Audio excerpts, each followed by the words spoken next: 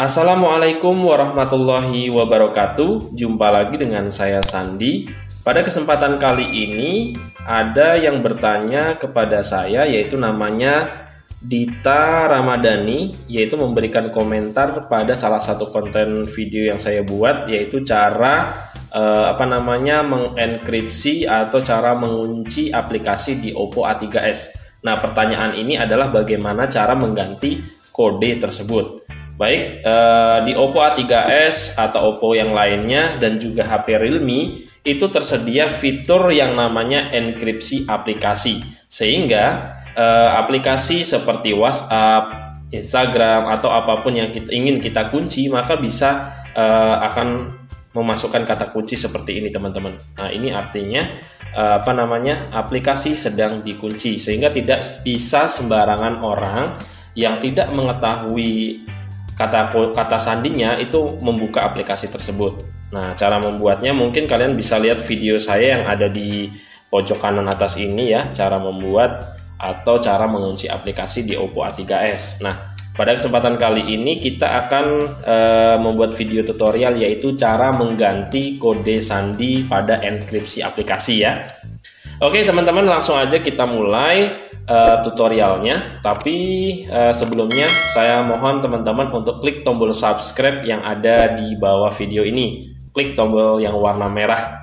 Baik terima kasih. Langsung aja kita mulai uh, di sini langsung kita buka menu pengaturan ya teman-teman kalian masuk ke menu pengaturan yang ada di HP Oppo atau Realme kalian oke langsung dibuka pengaturan ya kemudian kalian masuk ke sidik jari wajah dan kode pas kalian buka aja kemudian di sini ada uh, kode sandi privasi nah kalian masuk ke kode sandi privasi ini diklik Masukkan kode sandi privasi, yaitu kode sandi yang digunakan untuk mengunci aplikasi Anda. Sama ya. Nah, seperti ini sudah terbuka. Di sini ada matikan kode pas privasi, maksudnya pas itu password ya, password. Nah, kalian bisa mematikan atau menonaktifkan kunci aplikasi tadi, bisa dimatikan.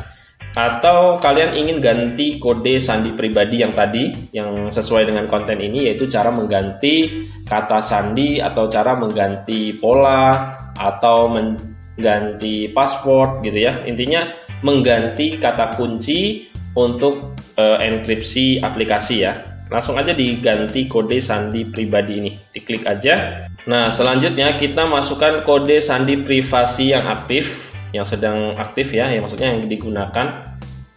Nah, kemudian tetapkan kata sandi privasi yang baru. Kalian bisa menggunakan kata sandi digit seperti ini, kata apa namanya? menggunakan angka atau kalian bisa mengganti dengan uh, sandi pola. Terserah kalian ingin uh, pakai yang mana. Di sini saya ingin pakai uh, kata sandi yang biasa aja.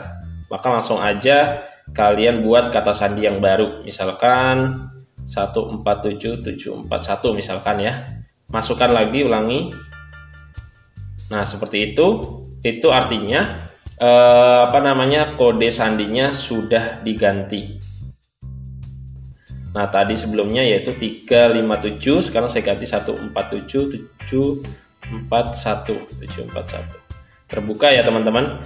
Dan saya akan coba ganti lagi yaitu ganti menjadi sandi pola ya. Klik masuk ke kode sandi privasi, masukkan kode sandi privasi yang aktif, kemudian pilih ganti kode sandi, masukkan lagi kata sandi yang aktif, dan kemudian tetapkan kata sandi privasi buat yang baru saya ganti dengan sandi pola. Nah, seperti ini saya ganti sandi pola ya. Oke, masukkan lagi. Nah, itu sudah terganti teman-teman. Kita langsung buka aplikasi WhatsApp-nya. Nah, dia minta oh, memasukkan sandi pola dan berhasil teman-teman.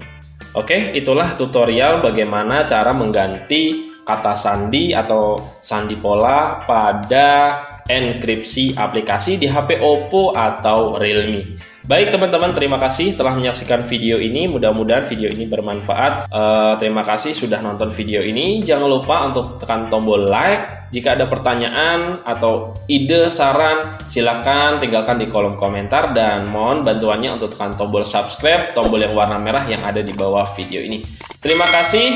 Uh, saya ucapkan wassalamualaikum warahmatullahi wabarakatuh.